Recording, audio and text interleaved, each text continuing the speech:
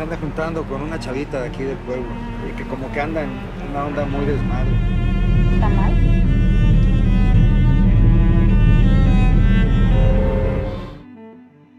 Siempre pienso que lo hermoso de mi trabajo, de mi profesión, es la experiencia humana. Hay muchos proyectos que uno eh, acepta porque lo hace gente que uno admira, ¿no? Los hacen gente que uno admira, artistas que uno admira.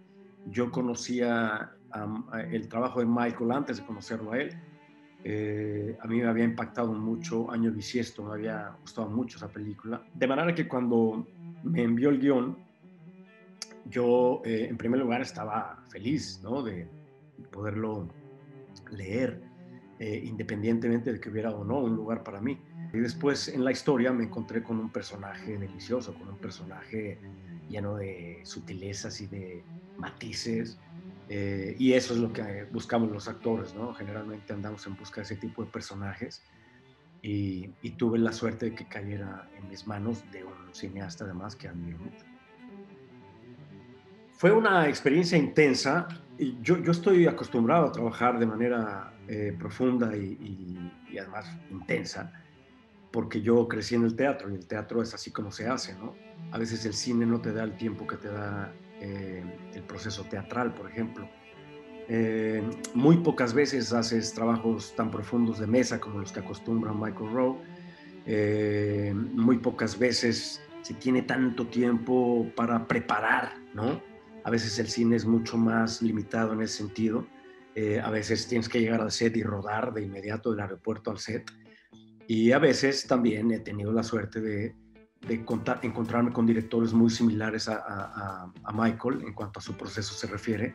Y entonces puedes explorar más a fondo todo. ¿no? Y entonces Michael y yo empezamos a intercambiar eh, comunicaciones muy largas y después ya nos, nos, nos eh, pusimos de acuerdo para volar al Tata, que afortunadamente rodamos en Altata, Sinaloa, porque nos acogieron desde un principio, nos pusieron bajo su, su ala, nos arroparon y nos, no, además de que nos dieron de comer delicioso, eh, fue, fue un acierto rodar ahí porque nos cuidaron y nos trataron increíblemente bien. Además que rodar ahí justo a las orillas del mar de Cortés es verdaderamente la locación ideal después de 50 años de estar haciendo esto, me, me, me da igual. Me, me, adapto a cualquier circunstancia, a cualquier clima. Yo, yo que soy un pez tropical, yo pensé que no podía rodar bajo cero. Y cuando hicimos Los Odiosos 8 de Hateful Eight, me di cuenta que, que podía estar a menos 17. Lo logré no sé cómo, con té caliente. Eh, de manera que los actores, y yo creo que eso es lo que hace a un actor profesional, ¿no? Un actor se puede llamar profesional cuando te puedes adaptar a todo tipo de circunstancias. De alguna manera los actores eh, debemos tener esa flexibilidad para adaptarnos no solo a los sitios donde vas a rodar, las temperaturas donde vas a rodar, eh, sino al estilo de cada director, ¿no? Los directores tienen una forma de hacer su cine, pero los actores nos tenemos que adaptar a ellos. Y, a mí como me encanta el fútbol, pues yo me adapto al director técnico en turno y si quiere que sea portero, puedo, puedo parar muy bien. Y si quiere que esté en la defensa también, si quiere que suba y baje también puedo. En fin, ¿no? Eh, para mí es igual. Yo, yo me siento cómodo en cualquier lado y si no es cómodo, lo trato de hacer cómodo. Es una película que tiene largos diálogos, pero me parece que la esencia de la película está precisamente en sus silencios, eh, en esta introspección de todos los personajes, no solo Armando, eh, en donde el, espectador puede eh, participar de esta radiografía que es muy presente, ¿no? que es muy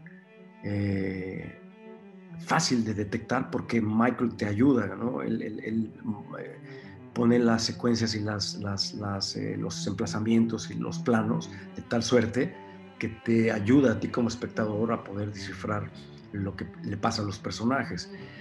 Eh, Armando es un hombre que cree que tiene